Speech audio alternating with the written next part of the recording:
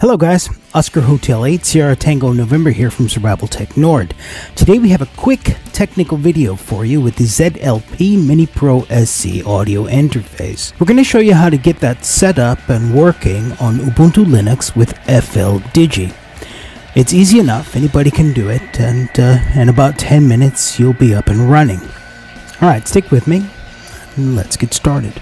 You are listening to the emergency broadcast systems this station broadcasts emergency news and official information on the air for assigned. If you're anything like me, when you first started to combine Linux computing with amateur radio, you were probably frustrated by the lack of good video tutorials on the net. Well, let's see if we can do something to change that. From an FL Digi perspective, this video is relevant to both the ZLP Mini Pro SC and the SignaLink USB. All right, let's go.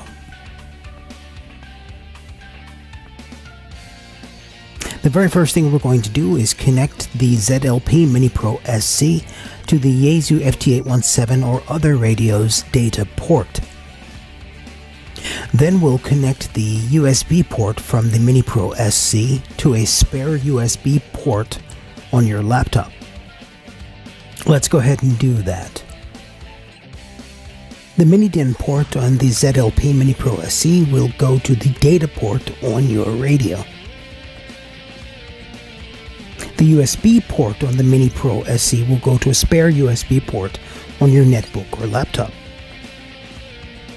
There's often some confusion between the data port and the CAT port. On the FT817, 857, 897, and other Yaesu radios, the data port is used for your audio interface. The CAT port is what we use for controlling the radio through software like FL Digi. If you're going to control your rig through FL Digi and you have the correct interface cable for it, we can go ahead and connect that too. The FT817 has a couple of menu settings that we need to adjust so that everything works correctly. We're going to go ahead and power it up. Long press on the function button so that you can get into the menu settings.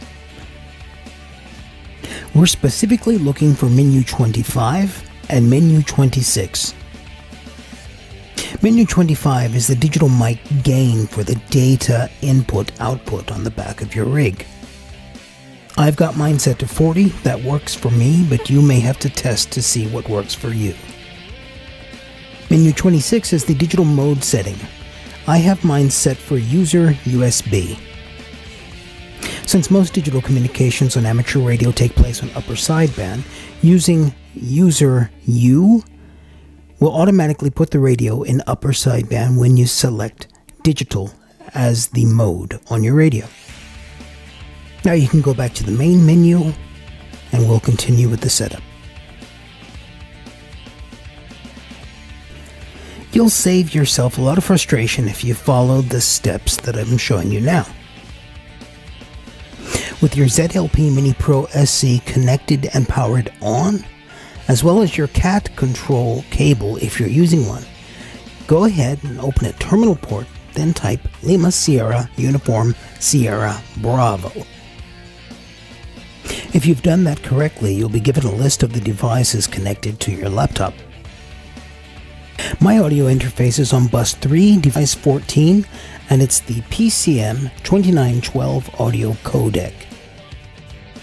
And depending on what type of interface you're using for your CAT control, you'll find that there as well. Now we can close this window and go to FL So we're going to start by opening up FL Digi. We're going to click Configure and then Sound Card.